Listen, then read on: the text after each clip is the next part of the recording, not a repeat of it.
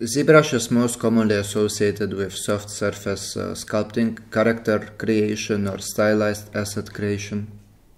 But there is a pipeline that allows you to use it on precise hard surface objects such as guns or tools or other stuff, which uh, specifically takes out sharp edges that you cannot modify normally with topology and bevels them up for you so you don't have to do it by hand it's a fast way to make your high polys and improve your already existing high polys. Let's talk about the use cases of this um, technique. Well, yeah, first of all, it takes this very dirty mesh made with creases and subdivision and smooths it up, uh, also booleans over here, and creates this nice bevel. Another use of uh, ZBrush that the booleans inside it are perfect. Sometimes in Maya or Blender you might try to apply booleans and they don't really work, so you need to wiggle them around a little bit for them to work. It's very annoying and I would rather not waste my time with that, so I can just import them into ZBrush and they will, uh, the programmer will do it for me. And also, sometimes you might have some pinching on your high poly, maybe because of your topology and it will take way too long to fix it you don't want to be buffered with that. So you just import it into ZBrush use a little bit of the smoothing uh, brush and it will become perfect. And let's talk about the limitations. First of all this cylinder looks perfect but it's shaded smooth. ZBrush doesn't care about vertex shading. In reality it just looks like this. So it's just a bunch of n-gons everywhere and if you're going to import this thing into ZBrush you're gonna get this because it doesn't like n-gons at all. Here uh, we were lucky to get anything at all, it created some quads over here but it also deleted those triangles. So when we export something to ZBrush we need to make sure that it has a triangulation modifier applied also another problem of uh, this workflow is that you need to work in really high poly because if you're going to use optimized cylinders it's going to import like some sort of polygonal cylinder and bevel every single edge and I don't think we really want to get this result. We would rather apply a bunch of uh, points and uh, have it smoothed out like this properly. And another issue is that sometimes uh, small details like this get lost in the remesher of ZBrush. So you might want to apply stuff like this at the end. For example I have this gun here. I need to have a ring on top. I would first um, smooth it out fully and at the end when I'm done I would apply this cutter over here. Okay so we can start with a test. I already exported my assets, but I basically chose those three things that I use for my main shape of the gun. I exported them and I'm going to import them in ZBrush. It's gonna look a little bit different from yours, but don't worry about that, it's just a skin. I also have a custom UI, which I will not use, but I will show how to create it at the end. You can basically put your entire workflow on this, so you don't have to worry about it later let's zoom in a little bit. Um, it's a weird uh, key set to zoom in and, or, or out so I would suggest going to document over here. Control alt click on in and zoom in. Control alt click on out and zoom out. So your key bindings for zoom in and out would be your scroll wheel. And then we need to import something in the upper right corner import ZBrush was initially created as a tool for uh, painting or something 2.5D using 3D models as brushes for whatever you want to do. So if you just drag your mouse around it will create a bunch of these. We don't want this. So in order to clean our canvas just press Ctrl N.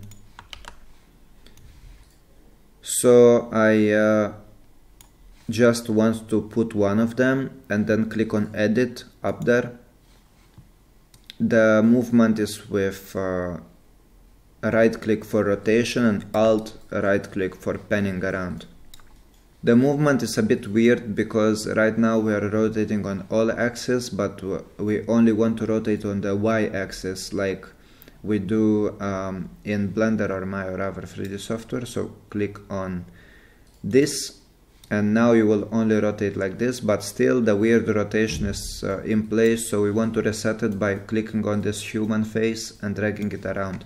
Now the rotation will be perfect. So in order to see our objects we want to go to subtool over here take this main shape and move it up a little bit by pressing on this button is the first one and we want to use the other two ones to cut. So you would press this instead of this this is add this is cut this is intersect.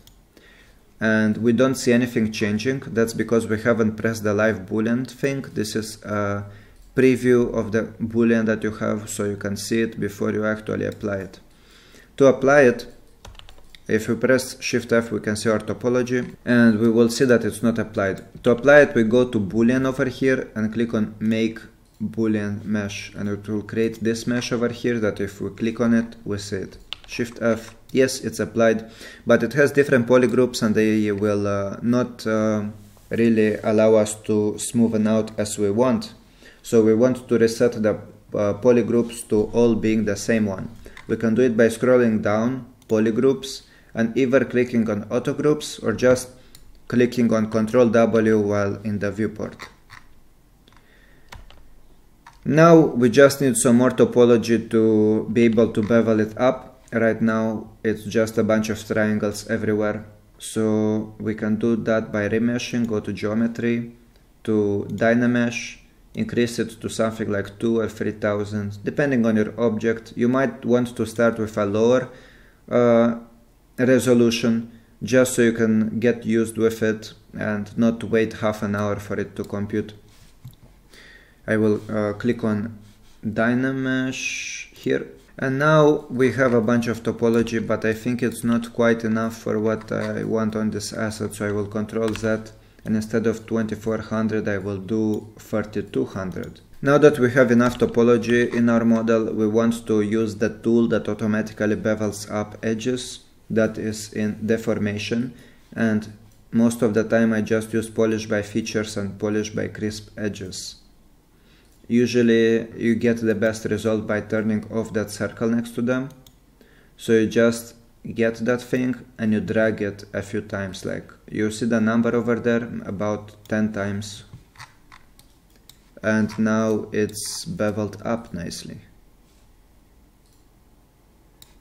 The place where I use polish by crisp edges is usually on projects like this one sometimes you have uh, sharp edges like this and polish by features will just make some pinching. If there are not many of them I still recommend keeping the polish by features in your workflow but smoothing them out with shift. But because this is so repetitive it would be so much that I would just use uh, polish crisp edges instead.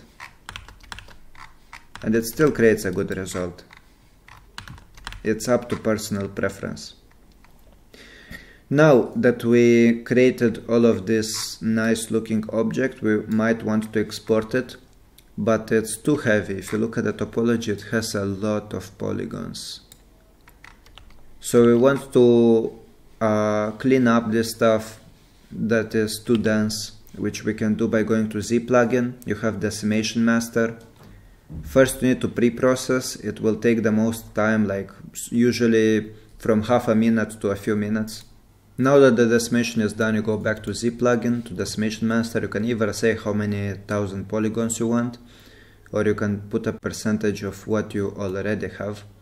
So let's say 6.9%, you just press decimate current, and if we look in Shift F, it cleared up a lot of topology that doesn't really influence the shading at all. And now it will be way lighter to import in the baking software that we want.